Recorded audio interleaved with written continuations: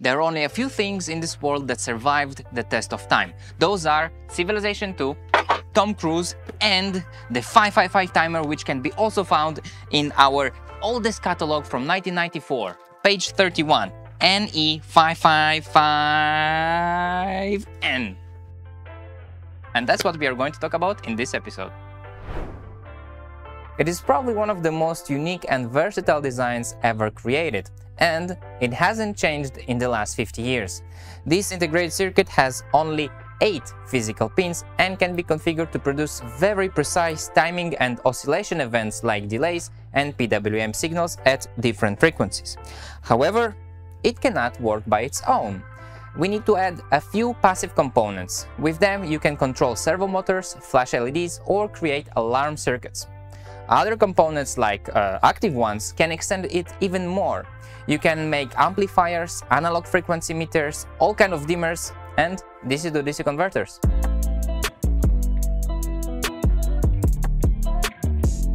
Now, when I first encountered the 555, I was actually thinking, why it is called 555? And to answer this, we need to dive into the internal block diagram. Everything starts with these three resistors between ground and VCC. Together, they form a voltage divider that creates reference voltages for the analog comparators. And they are 5 kilo ohm each. And that's where the name comes from. Despite this, there is a control voltage, CV pin, connected to one of the resistors.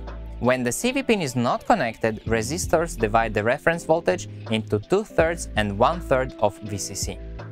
On the other hand, when CV pin is connected, the voltage will be UCV instead of 2 thirds VCC and half UCV instead of 1 third VCC. Moving down, there are two comparators. One is called a threshold comparator. Its negative input is connected to the voltage divider's higher reference voltage, and its positive input is connected to the threshold pin. The second one is the trigger comparator. Its negative input is connected to the trigger pin and positive to a low reference voltage. Their outputs are connected to a flip-flop also known as set-reset latch. It senses signals from comparators and saves the current state of the timer.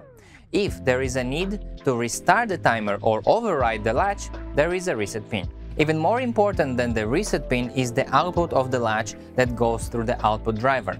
It can help to supply up to 200 mA. However, be careful because other versions like CMOS timers have a lower output current, about 100 mA. The same output of the latch controls a bipolar junction transistor. It either connects the discharge pin to the ground or disconnects it.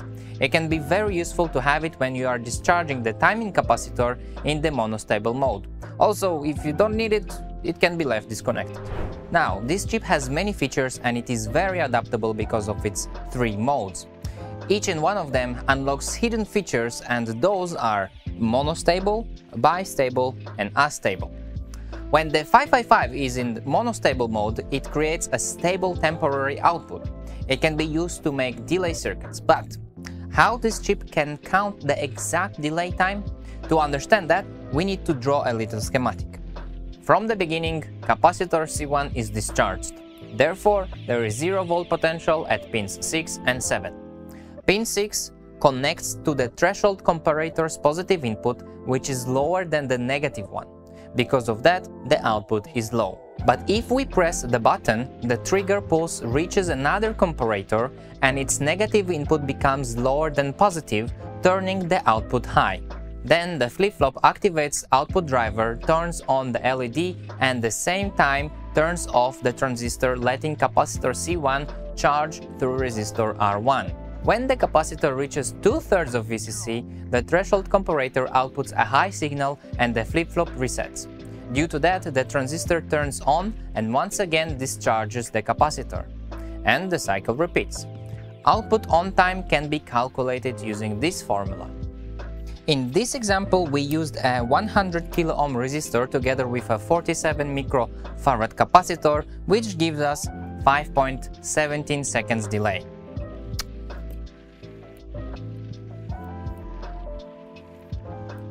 One, two, three, four, five point seventeen. the second mode, the bistable, is used to drive the output high or low using two push buttons. But why to bother if you can do the same thing using a simple circuit like a switch or a MOSFET? Well, if you need something very simple, yes, use the CMOS or the switch, but if you want to create something more complex, easily use the 555 timer. One example of a more complicated circuit is a frequency divider. Another example is a digital circuit where it can be used as basic building blocks and a memory element. Anyways, let's understand how the simplest bistable circuit works. One button is connected to the trigger pin that activates the comparator when pressed and turns the output high. The other button is wired to a reset pin which resets the whole timer and turns the output off. Capacitor C1 is placed to a pin 5 to stabilize the reference voltage. With a simple click, you can turn the LED on and off.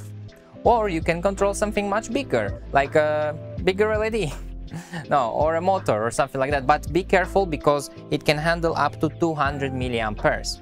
By the way, can you see this shiny LED? Do you know where we get it from? from TME. This and much more, like about 700,000 products, go to our website. The third and last mode is astable. With this mode, you can make the 555 timer an oscillator and produce rectangular square waves with an adjustable frequency and even a duty cycle. In this circuit, capacitor C2 is charged through resistor R1 and R2 and discharged through R2. So, on and off time can be calculated using these formulas. To give you an example, we decided to build two circuits with different RC components. The first circuit uses 47 microfarad capacitor, 100 kilo ohm R1 resistor and 1 kilo ohm R2 resistor. The second one uses 1 microfarad capacitor, 100 kilo ohm R1 resistor and 1 mega ohm R2 resistor. And because of this, you can see that they are flashing in different frequencies. But what if we want to adjust the duty cycle with a variable resistor? To check this out, we have the next circuit. In this circuit, we use the TLC555 timer instead of the NE555. It can operate at much higher frequencies and can be powered with a lower voltages. From the diagram you can see that there are two Zener diodes that are added to separate the charged and discharged current, while the potentiometer adjusts the current. In the end, the N-channel MOSFET is connected to switch the power for the fan. We can check with an oscilloscope how the PWM changes and the fan adjusts its speed accordingly. At this point, you should understand how the 555 timer works and how to implement it into your projects. If you like this video, leave a like, comment down below and let us know what other popular integrated circuits we can take for a review.